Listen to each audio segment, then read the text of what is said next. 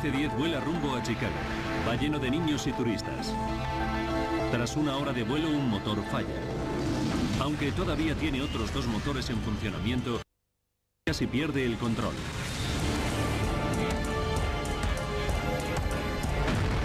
285 pasajeros tienen que efectuar un peligroso aterrizaje de emergencia en Sioux City. ¿Por qué el simple fallo de uno de los motores acabó en un accidente? Ahora, mediante avanzadas simulaciones por ordenador, desvelaremos lo que falló exactamente en el vuelo 232. Los desastres no ocurren sin más, son una cadena de sucesos críticos. Aquí desentrañaremos sus claves e iniciaremos la cuenta atrás hacia esos segundos catastróficos. Segundos catastróficos. Aterrizaje de emergencia en Sioux City. Colorado. Denver. Aeropuerto de Stapleton. 19 de julio de 1989. Conocida como la Puerta de las Montañas Rocosas, la ciudad de Denver es el punto de partida de vuelos con destino a todo Estados Unidos. De su aeropuerto despegan cada día más de 1.300 aviones con 75.000 pasajeros. Estamos en plena temporada alta veraniega y Stapleton está lleno de turistas y viajeros de negocios.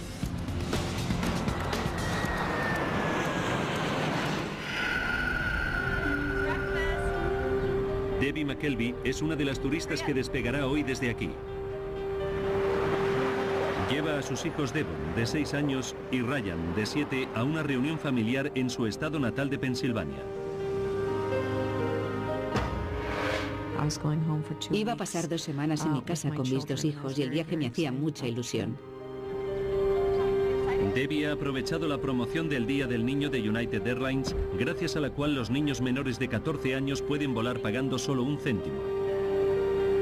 Siempre que vayan acompañados de un adulto de pago. Debbie viaja con su amiga del club de tenis Ruth Ness para que acompañe a uno de sus hijos. Ruth me hizo el favor de sentarse con uno de mis hijos y ocuparse de él mientras yo me ocupaba del otro. Una y cuarto del mediodía.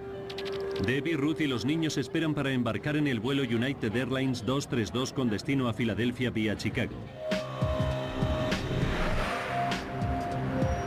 Al mando del avión se encuentra el capitán Alfred C. Haynes. La tripulación ha informado de un pequeño fallo eléctrico en la bodega durante el vuelo anterior, pero los ingenieros no le han dado importancia. El capitán Haynes es un piloto veterano con 7.190 horas de vuelo a sus espaldas. Los pasajeros están en buenas manos. El DC-10 es un avión magnífico. Dicen que es un avión para viejos porque es muy fácil de pilotar. A finales de los años 80 había más de 400 DC-10 en servicio, pero es un avión con un historial problemático. En 1972, en Windsor, en Ontario, la puerta de carga de un DC-10 de solo un año de antigüedad reventó y provocó una grave descompresión. Los pilotos se las arreglaron para aterrizar sanos y salvos. Dos años después reventó la puerta de otro DC-10, un avión de las líneas aéreas turcas que había despegado de París. Esa vez, la violenta descompresión desgarró el avión en pedazos en mitad del aire. Sus 346 pasajeros perecieron. McDonnell Douglas encontró el defecto y lo subsanó, pero la reputación del DC-10 nunca volvió a recuperarse. El DC-10 del vuelo 232 de hoy lleva 17 años en servicio. Ha volado más de 43.000 horas. Hasta ahora, sin incidentes. El de hoy debería ser otro vuelo más. Jerry Semmel es el subdirector de la Asociación Continental de Baloncesto y es un viajero frecuente. Nunca me ponía nervioso ir en avión, siempre disfrutaba de los vuelos. La primera vez que fui en avión tenía 18 años y siempre me gustó. Jerry vuela a Columbus con su jefe y gran amigo Jay Ramsdell en viaje de negocios. Su vuelo original ha sido cancelado y Jay ha obtenido plaza en el siguiente vuelo. Pero Jerry no ha encontrado otro asiento libre. Jay decide quedarse con su amigo y esperar al siguiente vuelo juntos. No le di demasiada importancia, pensé que era todo un detalle. Me acuerdo que pensé que yo habría hecho lo mismo por él.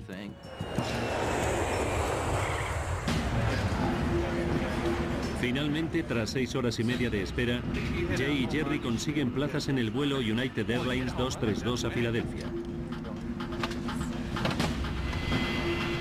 El avión va lleno, lleva 285 pasajeros y 11 tripulantes. Debbie McKelvey embarca con su amiga y sus dos hijos. El número de niños a bordo es desacostumbradamente elevado, 52 en total, a causa de la promoción del Día del Niño. La azafata Jan Brown Lord sabe que cuantos más niños haya a bordo, más trabajo tendrán durante el vuelo. Tras cuatro días volando, Jan tiene ganas de volver a su casa en Chicago. Recuerdo que me quedaba la energía justa para terminar ese vuelo y volver a casa a recargar las pilas para el siguiente. El capitán Haynes, el copiloto Bill Records y el ingeniero de vuelo Dudley Dvorak comprueban los últimos detalles antes de despegar. Se dirigen a la pista y aguardan el permiso de la torre de control. A las 2 y 9 minutos de la tarde, el avión con tres motores despega de Denver. Salimos de Denver con los cielos muy despejados. Hacía un día muy bonito, sin viento. Iba a ser un vuelo muy cómodo, rutinario. Debbie McKelvey va sentada con su hijo Ryan, mientras su amiga Ruth Ness va sentada a una fila detrás con su hija Devon. 3 y 16 minutos de la tarde. A esa hora se encuentran terminando de comer.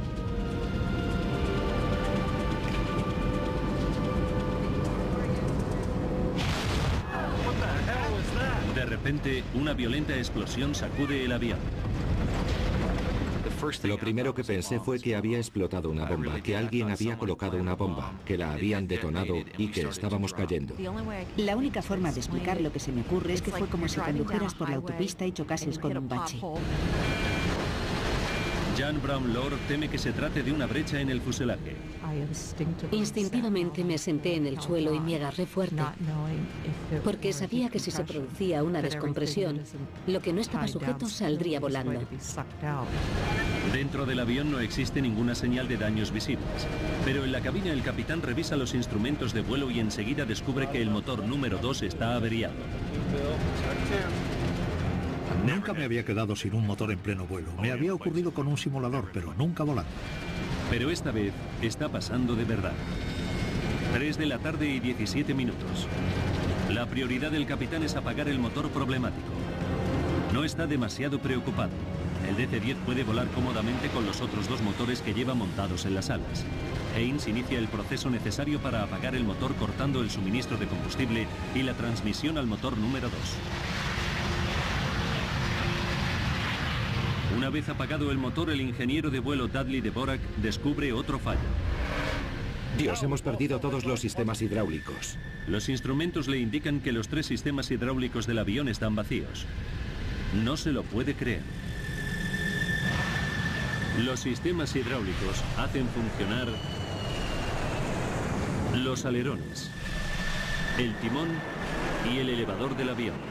Sin ellos los pilotos no pueden hacer girar el avión, ni ascender o descender. Pero los instrumentos no engañan. El copiloto Bill Records se queda horrorizado al descubrir que los mandos ya no le responden. El avión comienza a escorarse bruscamente a la derecha y no puede hacer nada para impedirlo. Entonces nos dimos cuenta de la gravedad de la situación y de que la avería era muy importante. El capitán intenta enderezar el avión pero no consigue que el DC-10 recupere su posición. El avión amenaza con darse la vuelta. Una perspectiva aterradora.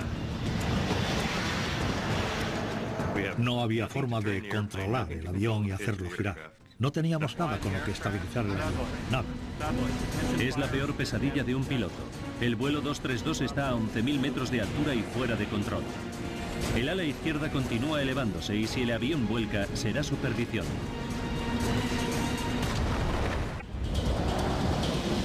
El vuelo 232 de United Airlines se mantiene con solo dos motores. Y lo que es peor, tiene todos los sistemas convencionales de control estropeados. A pesar de los esfuerzos del capitán, el avión está a punto de volcar. Los pasajeros ya están notando que el avión se está escorando vertiginosamente. Mi hijo, que ya tenía siete años y medio y siempre ha sido muy observador, me dijo que notaba que algo no marchaba bien. Se notaba como el avión se echaba a un lado. Sentías físicamente la sensación de que el cuerpo se te inclinaba hacia la derecha. Era una sensación muy poco habitual. 3 y 18 minutos de la tarde. El ala izquierda está tan levantada que el avión vuela totalmente escorado. El piloto sabe que es cuestión de segundos que vuelque y pierda el control. Solo le queda recurrir a un viejo truco. Si falla, será el final del avión. Disminuí el impulso de un motor y aceleré el otro a toda marcha para ver si ayudaba. En una apuesta desesperada por estabilizar el aparato, Haynes trata de ajustar la potencia relativa de los dos motores que le quedan. Cuando el motor derecho marcha a más velocidad, el avión se escora a la izquierda y viceversa.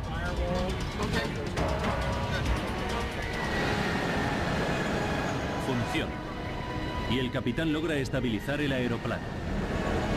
Sigue sin tener el control del vuelo, pero puede pilotar el aparato de forma rudimentaria aumentando y disminuyendo las marchas. Pero descubre que solo puede girar a la derecha. 3 y 20 de la tarde. El copiloto llama por radio al Centro de Control de Tráfico Aéreo de Minneapolis. Informa de la pérdida de los controles de vuelo y solicita un plan de vuelo hasta el aeropuerto más cercano. Los pilotos no tienen ni idea de cómo van a aterrizar con el avión averiado. Señoras y señores, les habla el capitán. Hemos apagado el motor número 2 del avión. El capitán le cuenta a los pasajeros que ha apagado un motor, pero no menciona la pérdida de los mandos del avión. Sus palabras no tranquilizan a todos los pasajeros. Se notaba que las azafatas estaban muy tensas y te dabas cuenta de que las cosas no marchaban bien. El capitán sabe que se le está acabando el tiempo. El avión está cayendo 250 metros por minuto. Tiene que intentar un aterrizaje de emergencia antes de perder la altura necesaria. 3 y 22 minutos de la tarde. Control del tráfico aéreo informa a la tripulación de que la pista más cercana es la del pequeño aeropuerto regional de la ciudad de Sioux City, en Iowa. 3 y 25. La tranquila tarde del parque de bomberos de Sioux City está a punto de verse revolucionada. El jefe de bomberos, Robert Hamilton, recibe una alerta y sospecha que se trata de algo grave. Llevo mucho tiempo trabajando en esto y esas cosas las notas. Es como si tuvieras un sexto sentido. En pocos minutos las sospechas del jefe de bomberos se confirman. El vuelo United Airlines 232 se dirige directo a su ciudad envía nueve coches de bomberos a tomar posiciones junto a la pista de aterrizaje. Ahora el capitán Haynes tiene que averiguar cómo se las va a arreglar para aterrizar sin apenas mandos. Antes de poder trazar un plan, surge otro problema. El DC-10 empieza a ascender y descender al azar de forma cíclica e incontrolable. Para los pilotos es como volar en una montaña rusa celestial. No sabíamos cuánto tiempo más íbamos a poder mantener el avión en el aire. Debbie McKelvey nota el movimiento errático del avión y teme por su vida. Iba con mis hijos de 6 y 7 años y me puse a rezar. Pedí que si nos teníamos que morir fuese de forma rápida y sin dolor. 3 y 26 minutos. El capitán llama al sobrecargo a la cabina. Cuando abrí la puerta, noté que el ambiente que se respiraba era el de la peor crisis posible. El capitán le dijo a Jan que preparase a los pasajeros para un aterrizaje de emergencia. Cuando crucé la sección de primera clase, no me atreví a mirar a nadie a los ojos porque temía que le dieran el miedo en mi cara.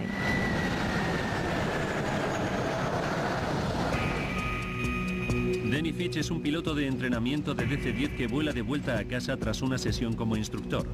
Sabe que algo marcha mal y ofrece su ayuda. 3 y 29 minutos de la tarde. Lo que Denny descubre en la cabina le deja paralizado. Era una escena asombrosa. Ambos pilotos estaban aferrados con fuerza a los mandos con los tendones de los antebrazos tensos por el esfuerzo y los nudillos blancos de tanto tirar. Como piloto de entrenamiento experto, Denny Fitch está preparado para cualquier emergencia, pero nunca se ha enfrentado a nada semejante. Me quedé de piedra, porque nunca había visto nada igual. De hecho, no existía un procedimiento a seguir en caso de fallo hidráulico. Lo primero que me vino a la cabeza, para serle sincero, es que esa tarde iba a morir.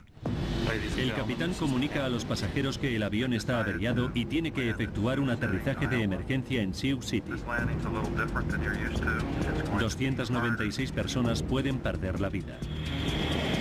Aterrizar sin estrellarse pondrá a prueba hasta el límite la habilidad del piloto. Denny se ofrece a ayudar de cualquier forma. Le dije al capitán si quería que le ayudase con las marchas y me dijo que sí. Denny se encarga de las marchas, el único mando que sigue funcionando. Le permiten pilotar el avión hasta cierto grado, pero solo puede girar a la derecha.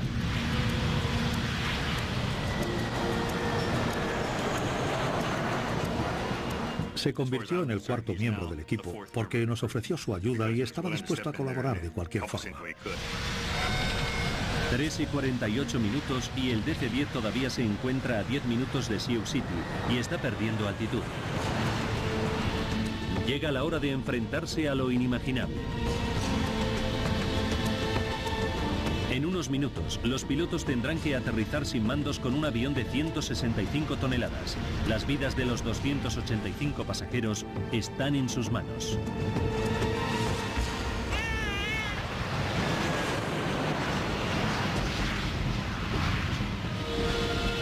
Los pilotos inician la maniobra de aproximación final a Sioux City. Denny Fitch estabiliza el avión aumentando y reduciendo las marchas, aunque el avión solo puede girar a la derecha. El plan consiste en realizar una espiral descendente cuyo giro final esperan que les coloque enfrentados a la pista. Las probabilidades de éxito son escasas.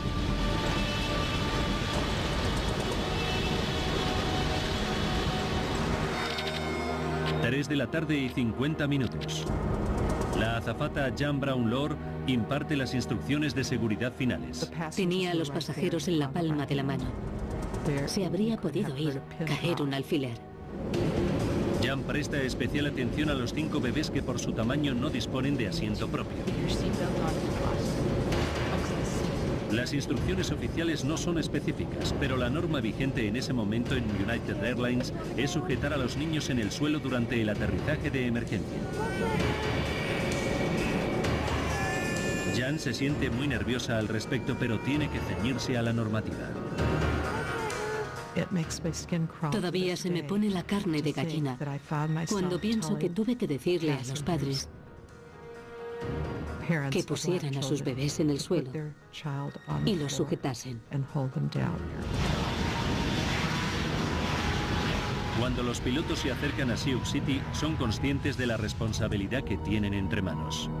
Dependían de mí 296 vidas, literalmente. Nunca me he sentido tan sobrecogido por una responsabilidad en mi vida. Como no tiene frenos, el DC-10 necesita una pista muy larga.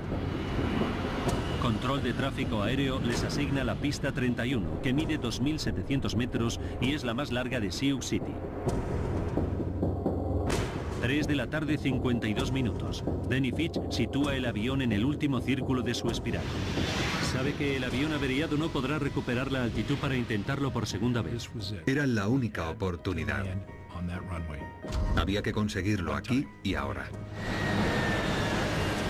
Cuando el avión finaliza su último giro, los pilotos contemplan aliviados el aeropuerto de Sioux City, justo frente a ellos. Pero hay un problema. Se trata de la pista equivocada. Teníamos una pista delante y poco tiempo. Era ahora o nunca.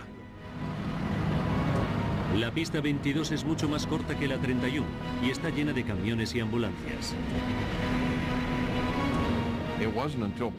Cuando nos dijeron que se había cambiado la pista 31 por la 22, no tuvimos más que un par de minutos como mucho para efectuar los cambios necesarios. 3 de la tarde 59 minutos. Los coches de bomberos se apartan de la nueva pista donde va a aterrizar el DC-10. Nosotros en ese momento lo único que podíamos hacer era tratar de encontrar la posición ideal para enfilar esa pista de aterrizaje. El capitán ordena a los pasajeros que se inclinen sobre el regazo. En cuanto les pedimos que se agachasen, fue como una brisa soplando sobre un campo de trigo. Todos adoptaron de inmediato esa posición. No paraba de pensar que había llegado el momento final. Le pedí a mi hijo que bajase la ventana porque no queríamos ver cómo se aproximaba nuestro fin.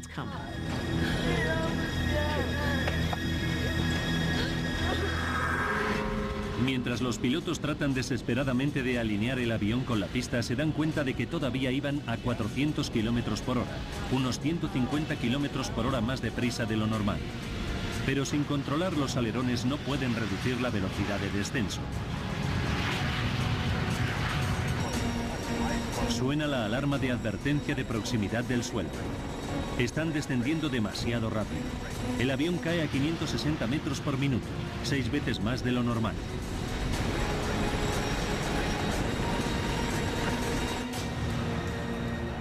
En tierra, los periodistas se apresuran a coger sitio para cubrir la noticia. Son las 4 de la tarde. Y unos segundos antes de aterrizar, el morro y el ala derecha se inclinan hacia abajo. Si aterriza en ese ángulo, el avión se partirá. Impulsamos ambos motores a máxima potencia para ver si podíamos levantar el morro. Danny Fitch lucha desesperadamente por levantar el morro del avión, pero es demasiado tarde y los motores no responden a tiempo. 4 de la tarde y 16 segundos. El avión se estrella contra la pista. Sentí como si nos hubiésemos caído del cielo y chocado con la tierra. No fue un aterrizaje de emergencia, fue un choque. Se oyeron unos chillidos metálicos ensordecedores que nunca había escuchado antes y espero no volver a tener que escuchar en mi vida. El tren de aterrizaje y el ala derecho se fracturan y el combustible se sale y provoca un incendio. Vi que estábamos rodeados por lenguas de fuego. Pensé que sería por el rozamiento contra la pista. Creí que íbamos a morir abrasados vivos. El avión se arrastra por la pista sobre el muñón del ala derecha durante unos 600 metros antes de partirse en pedazos. La cabina se desprendió como si fuese la punta de un lápiz y nos vimos metidos en un trozo de chatarra suelta que avanzaba 200 nudos por hora. La sección principal del fuselaje se arrastra por la pista un trecho más, se da la vuelta y se queda parada en un extremo del aeropuerto.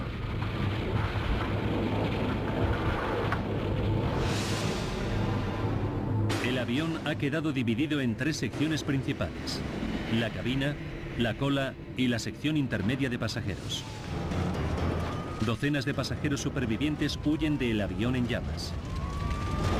Los bomberos y las ambulancias se apresuran a socorrerles. Los equipos de rescate se enfrentan a un espectáculo dantesco de muertos y heridos.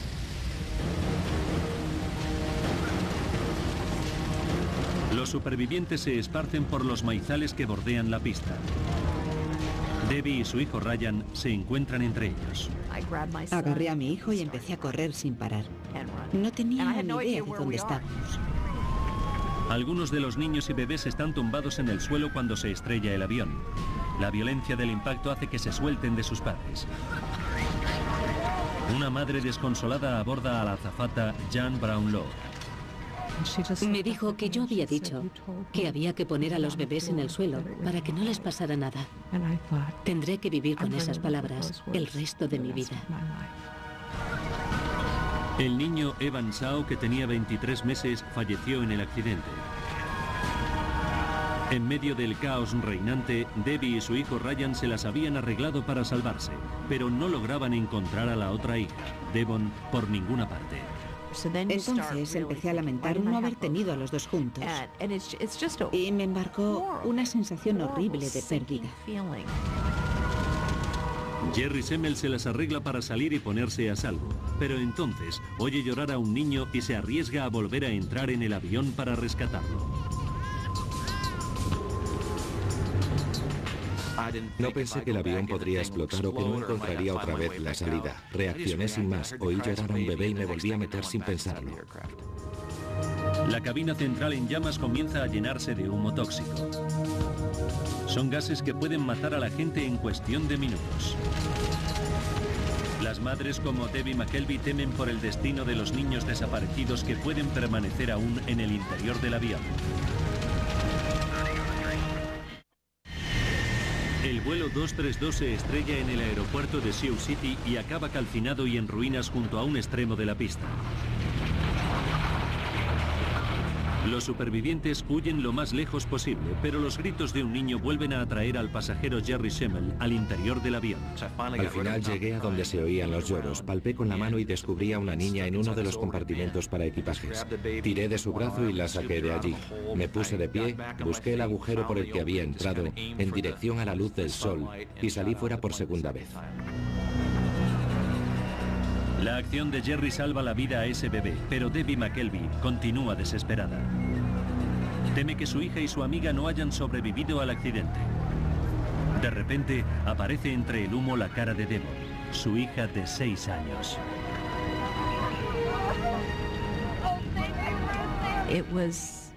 Cuando supe que estaba bien, me llevé la mayor alegría del mundo. Mientras los pasajeros escapan del siniestro, el capitán Hein y la tripulación de vuelo permanecen atrapados en la cabina. El morro del avión se ha enterrado en la tierra blanda junto a la pista. Es el último sitio al que acuden los equipos de rescate. Tienen que usar una carretilla elevadora y equipo para cortar los hierros retorcidos. Tardan 30 minutos en llegar hasta los pilotos. A las 5 de la tarde rescatan a los cuatro pilotos gravemente heridos, pero vivos. Recuerdo que me dieron una palmada en el pecho y me dijeron que no había pasado nada, que me habían salvado y que estaba bien. Y me sentí enormemente aliviado. El avión continúa ardiendo durante más de dos horas.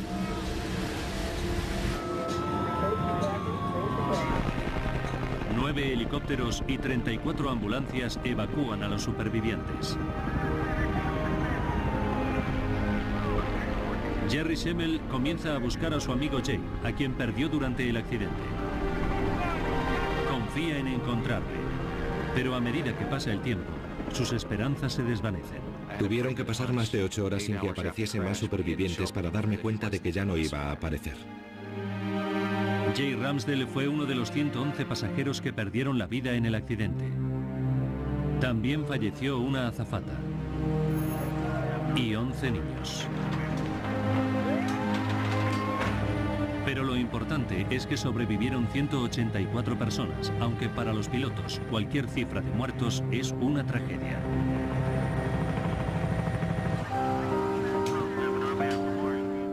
El piloto de entrenamiento Denny Fitch se enterará del número de víctimas cuando su mujer acude a verle al hospital.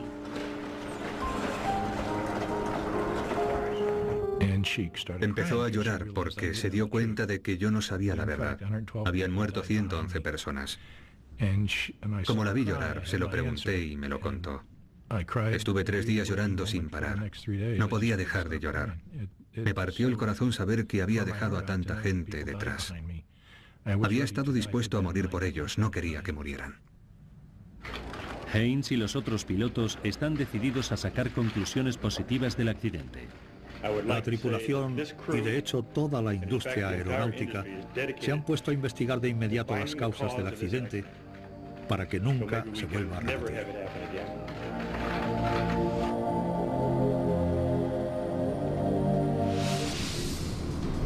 El Consejo Nacional de Seguridad del Transporte envía un equipo de investigación a Sioux City. En el mundo hay todavía 427 DC-10 en servicio y necesitan averiguar rápidamente lo que le ocurrió al avión.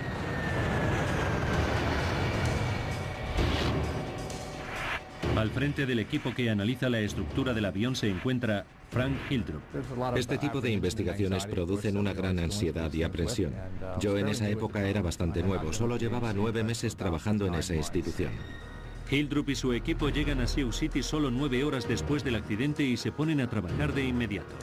La prioridad de los investigadores es recuperar el mayor número de piezas posibles para recomponer el aparato. Es una labor improbable. Era un siniestro de tal magnitud que pronto supimos que nos esperaba una larga investigación. El impacto ha esparcido los restos del avión a una distancia de un radio de un kilómetro. Los servicios de emergencia y la Guardia Nacional movilizan cientos de efectivos. Registran metro a metro la zona que rodea los escombros del avión. Cualquier pieza, por pequeña que sea, puede resultar clave para averiguar la causa del accidente. El investigador Jim Walby lo tiene muy claro. Para entender cómo se destruyó el avión y comprender la interrelación entre las diversas piezas. Por eso resulta muy útil recomponer la estructura. Los investigadores entrevistan a los cuatro pilotos para averiguar la causa de la pérdida de control que provocó el accidente. El capitán y los otros pilotos confirman que tras el fallo del motor número 2, se quedaron sin sistemas hidráulicos. El investigador Frank Hildrup se queda muy intrigado.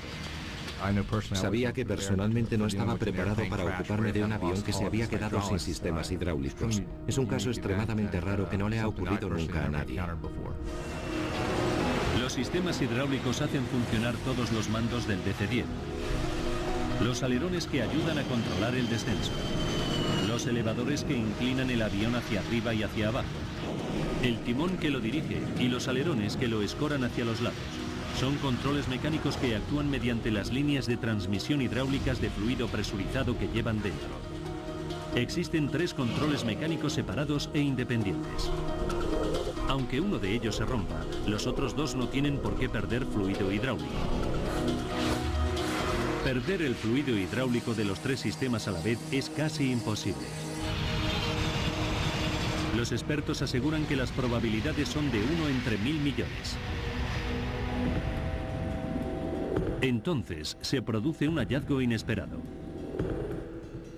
Unos granjeros a 90 kilómetros de Sioux City informan de restos del avión esparcidos por sus tierras. Los investigadores los examinan y encuentran componentes del sistema hidráulico número 2 de la cola, junto al motor averiado.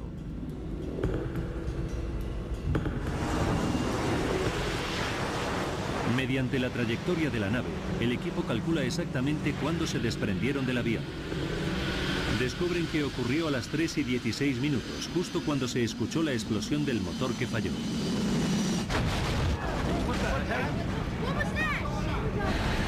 Todo apunta a que un suceso catastrófico dentro del motor acabó dañando también los sistemas hidráulicos.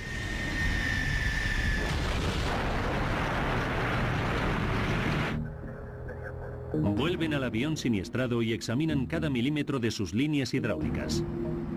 Es un proceso lento y minucioso, pero da resultado.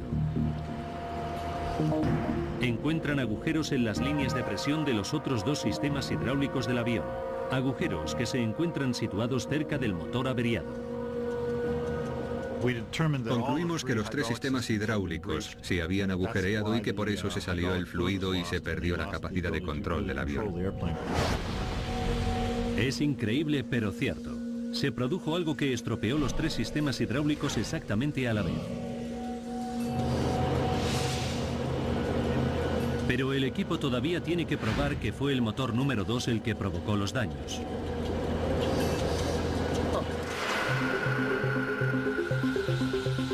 Inspeccionan las perforaciones con un escáner microscópico y encuentran rastros de minutos de titanio. El titanio se emplea para fabricar piezas aeronáuticas clave porque es muy duro y muy ligero. En el DC-10, el único titanio que existe cerca de la cola es el del interior del motor número 2. Y cuando los investigadores reconstruyen dicho motor, encuentran una nueva pista que confirma su teoría.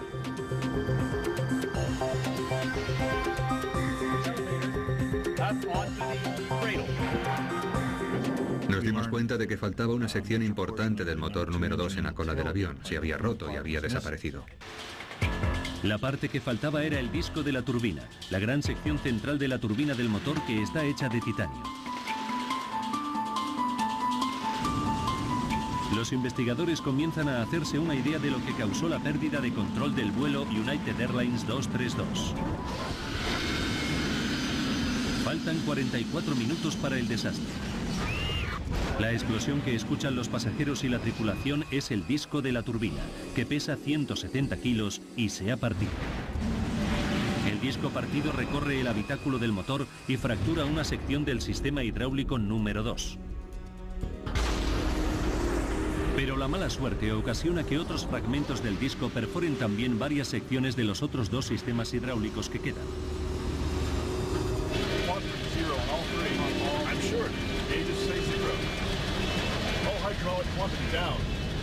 Faltan 42 minutos. El avión pierde todos los controles de vuelo. La sección de cola está tan dañada que el avión solo puede girar a la derecha y sin elevadores los pilotos no pueden mantener el avión estabilizado.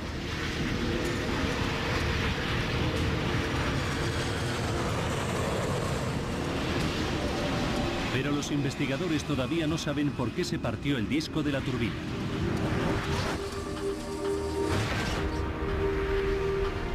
Hasta que lo descubren, hay otros 400 DC-10 con el mismo defecto oculto surcando los cielos.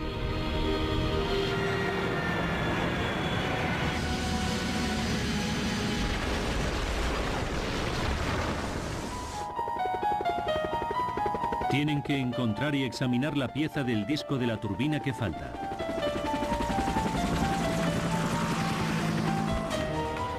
El equipo de investigación calcula la trayectoria que siguieron los restos del disco de la turbina para descubrir dónde pudieron haber caído. Calculan que cayó en una zona de maizales de Iowa que cubre una extensión de 36 kilómetros cuadrados. Localizar un disco de ventilador en una zona tan grande como esa era como buscar una aguja en un pajar. Los investigadores hacen todo lo posible por encontrarlo. Rastrean la zona con tres helicópteros, pero los maizales de tres metros de alto ocultan todo lo que hay en el suelo. Incluso despliegan cámaras de rayos infrarrojos para tratar de buscarlo.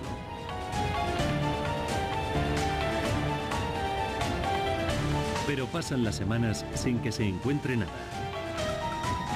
General Electric, la empresa fabricante del motor, ofrece una recompensa a quien encuentre el disco de la turbina desaparecido.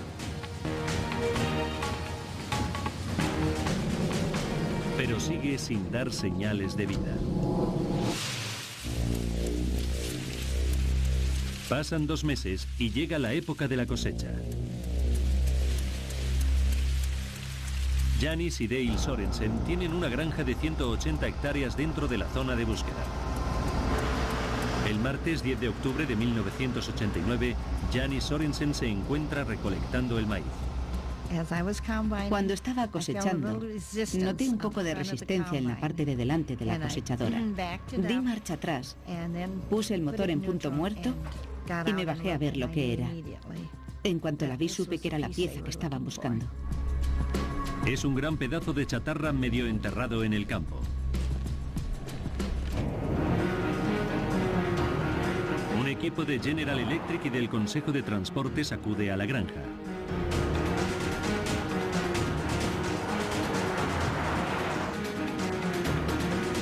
Janis les ayudan a desenterrar la pieza. Estas son imágenes del vídeo casero que rodaron los propios Sorensen sobre su hallazgo. Tenía una pala pequeña y fui a buscar el tractor. Le puse una cadena alrededor y la levanté. Después la llevamos al corral de los pavos que estaba cerca. Allí había agua caliente, así que la lavamos hasta que quedó reluciente. Los investigadores enseguida confirman que se trata de la pieza de la turbina del avión siniestrado. Después hallan otra pieza cerca de allí. Juntas bastan para recomponer el disco de la turbina completo. Jani Sorensen se entera de que su descubrimiento puede encerrar la clave de la causa del desastre. Me emocioné mucho. Incluso solté alguna lágrima. Fue una mezcla de ilusión por el hallazgo y de lástima por la gente que había muerto. Janice y su marido recogen la recompensa de 100.000 euros que ofrecía General Electric y luego la donan a la caridad.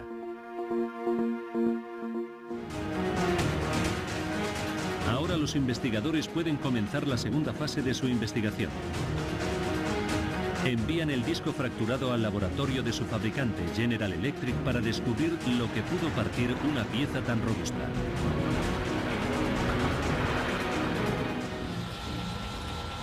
Jim Wildey, experto en metalurgia, examina el disco de la turbina comenzando por la línea de fractura principal por donde se partió. Encuentra una grieta de 13 milímetros de largo causada por el desgaste. Es raro que el metal de un disco de la turbina se desgaste.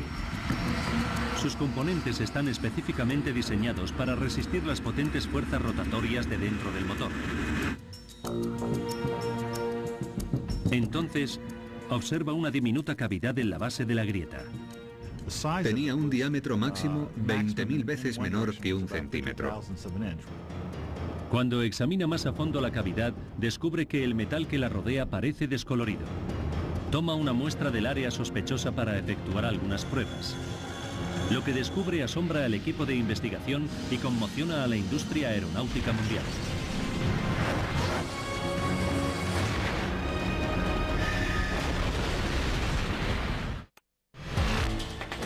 El investigador James Waldey examina una cavidad diminuta en el disco de la turbina fracturado del vuelo United Airlines 232. Lo que descubre le deja asombrado. La aleación de titanio que le rodea tiene una impureza, denominada inclusión alfa, un pequeño defecto más pequeño que una uña. El análisis revela que se produjo por un exceso de nitrógeno cuando se forjó. El disco de la turbina estaba hecho con titanio que contenía una impureza fatal. Es la pieza final del rompecabezas.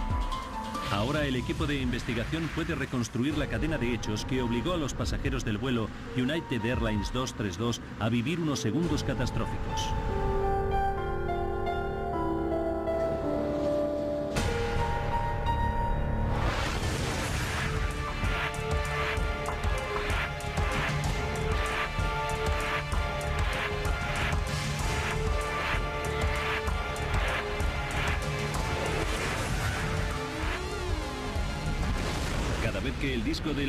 Del DC-10 rotaba a 3.800 revoluciones por minuto, la enorme presión aumentaba la grieta que se había iniciado en el metal impuro.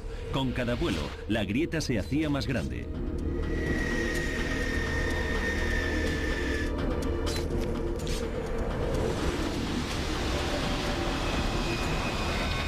Faltan 44 minutos para el desastre. 19 de julio de 1989.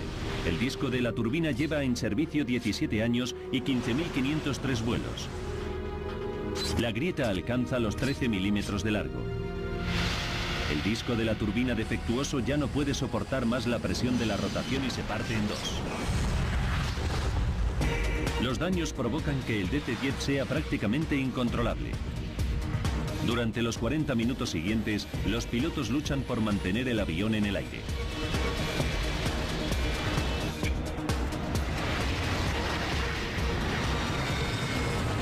5 minutos.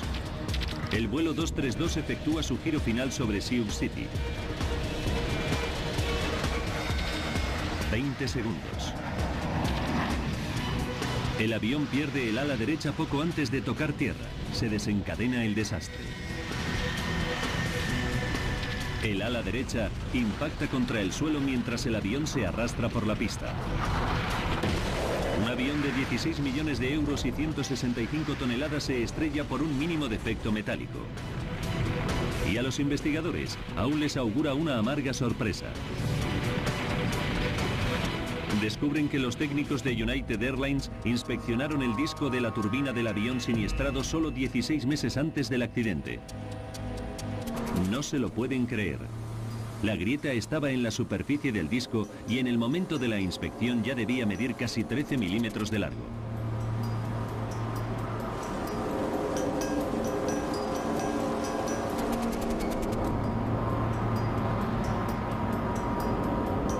El disco había sido inspeccionado antes del accidente. Se tenía que haber detectado la grieta entonces porque tenía un tamaño considerable, pero no se detectó. El informe del Consejo de Transportes determinó que la grieta no se detectó debido a un error humano. El informe declaraba que United Airlines había seguido la normativa en materia de inspección y cumplía con todas las regulaciones del sector. Y citaba el factor humano como un problema de la inspección de motores extensible a toda la industria aeronáutica. A consecuencia del desastre de Sioux City, la Autoridad Federal de Aviación mejoró los procedimientos de inspección de motores. También exigió que se realizaran cambios en los sistemas hidráulicos del DC-10. Se obligó a las líneas aéreas a añadir válvulas de cierre para limitar la cantidad de fluidos que se podían perder a causa de una rotura.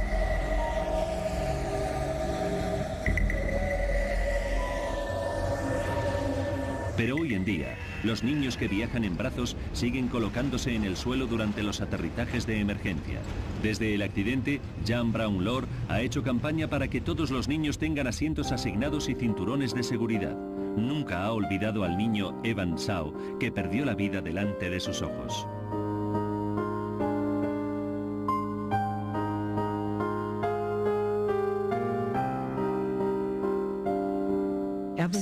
Ocupado un asiento, ya habría cumplido 17 años. Danny Fitch, Al Haynes y los otros pilotos recibieron premios por su extraordinaria profesionalidad y valor. Jerry Semmel, que ahora tiene sus propios hijos, nunca olvidará que está en deuda con los pilotos.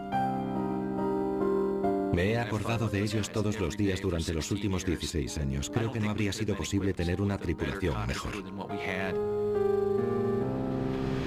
Medidas de seguridad que resultaron del accidente de Sioux City no solo transformaron la seguridad de los DC-10, sino la de todos los aviones de pasajeros en general. Las nuevas reglas deberían asegurar que accidentes como este no vuelvan a repetirse nunca.